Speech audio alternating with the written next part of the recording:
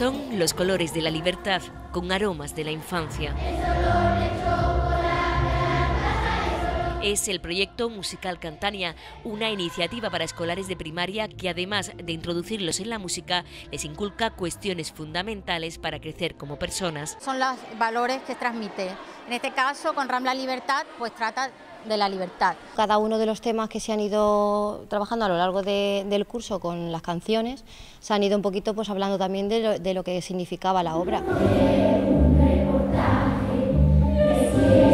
Este centenar de escolares del Colegio Ortiz de Zúñiga de Sevilla ultima los ensayos de la obra de este año Rambla Libertad y ellos son solo una muestra de la importante participación que ha logrado arrancar esta mujer en los colegios andaluces. Son unos 1.800 niños una madre apasionada por la música y empeñada en fomentarla dentro de las aulas, que ha logrado traer a Andalucía un proyecto nacido del Auditori de Barcelona que ahora cumple 25 años. Como me encanta la música y tengo dos niños pequeños, pensé que hay de la música para los niños. La música es humanidad.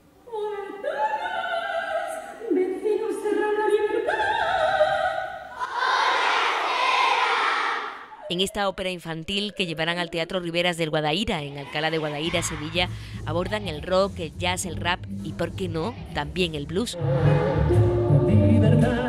Se puede aprender mucho de la lección que te enseña este musical tan chulo. Que todo el mundo puede ser libre. Da igual si uno piensa amarillo o otro color. Cada uno tiene su opinión y hay que respetarla.